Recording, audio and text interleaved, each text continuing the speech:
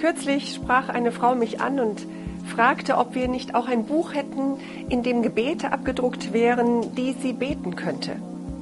Nun, das ist eine berechtigte Frage, vor allen Dingen dann, wenn man vielleicht noch jung im Glauben ist, wenn man noch nicht so geübt ist. Wie spreche ich denn mit Jesus? Wenn man noch so ein bisschen unsicher ist, wie man das formulieren soll. Ich denke, eine gute Idee ist es, einfach die Bibel aufzuschlagen, denn sie ist das Gebetsbuch schlechthin. Sie ist das Gebetsbuch, in dem alle Nöte, alle Sorgen, alle Freude, alles Glück, alles, was so in unserem inneren Menschen abgeht, was wir dort wiederfinden. Und man kann mit diesen Bibelworten, mit dem Wort Gottes beten. Vielleicht fängst du dazu mit den Psalmen an. Die Psalme sind Lieder und Gebete, die David hatte und die er aufgeschrieben hatte und die einfach bis heute in unseren Alltag noch an Gültigkeit und an Tiefe haben. Selbst nachts, wenn ich manchmal wach bin, bete ich in diesen Psalmen oder in anderen Worten, die ich aus der Bibel kenne, die ich auswendig gelernt habe und die mir einfach Hilfe und Stärke sind. Gut ist es auch, wenn man dazu kommt, das Wort Gottes zu proklamieren. Es ist mir ganz wichtig, dass du verstehst, was heißt das denn proklamieren? Ich sage dir dazu ein paar Inhalte, ein paar Wortsynonyme, die dieses Proklamieren beinhaltet. Proklamieren heißt signalisieren, bezeugen, bekannt geben, veröffentlichen, ansagen, beschreiben, hören lassen, ausposaunen oder in aller Munde sein. Es gibt noch viele andere Wortsynonyme Synonyme dazu, aber das sind schon mal welche, die dir einfach zeigen sollen, du sprichst das Wort Gottes aus, du verkündest es mit deinem Mund. Dazu ist es gut, wenn du einfach vor dem Bibellesen betest, dass der Heilige Geist dir Worte ganz deutlich macht, dass er sie dir wichtig macht. Und dann sprichst du ganz laut diese Bibelworte aus. Zum Beispiel den Psalm 91, den Psalm, wo es heißt, wer unter dem Schirm des Höchsten bleibt und im Schutz des Allmächtigen.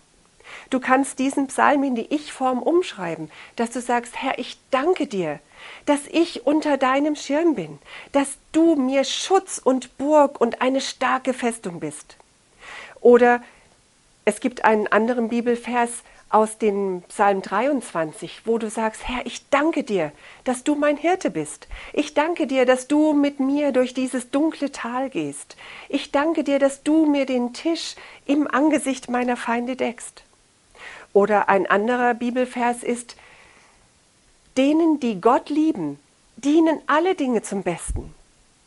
Oder in der Offenbarung steht, dass du ein Überwinder sein wirst. Und du nimmst diesen Bibelvers und sagst, danke Herr Jesus, dass du mich zu einem Überwinder machst.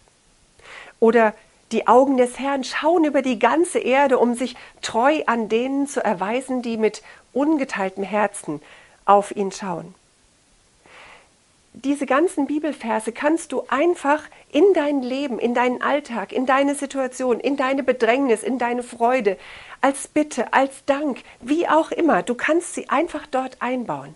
Du kannst sie laut aussprechen. Das laute Aussprechen und Lesen der Bibelstellen hat den Vorteil, dass du selber es hörst und dass du einfach in eine Haltung und in eine Position kommst, wo du sagst, das ist etwas Wichtiges, das muss die geistliche und die natürliche Welt hören.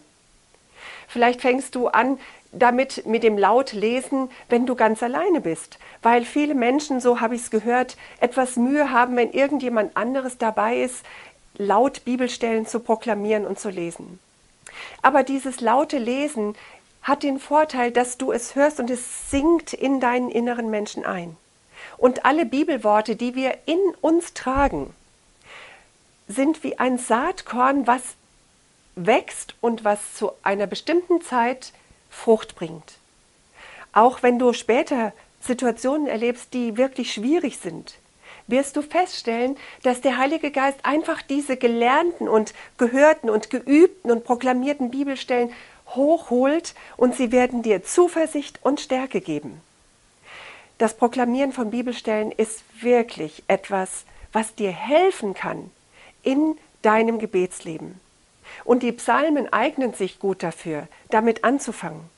In den Psalmen können wir ganz viele verschiedene Situationen, Bedrängnisse, Freude, alles finden, um in dieses Lernen der Proklamation des Wortes Gottes hineinzukommen, das zu üben.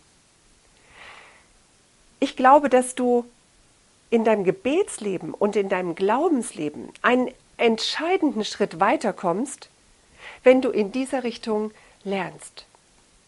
Ich wünsche dir, dass du in dem Bereich siehst und lernst und erlebst, dass Gott mehr für dich hat.